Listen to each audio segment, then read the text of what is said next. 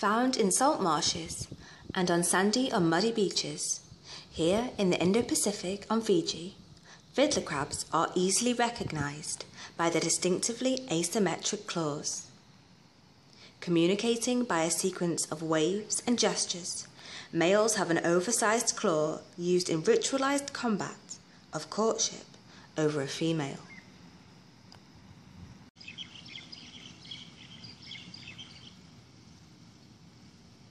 The movement of the smaller claw from ground to mouth during feeding explains the crab's common name, as if the animal were playing the large claw like a fiddle.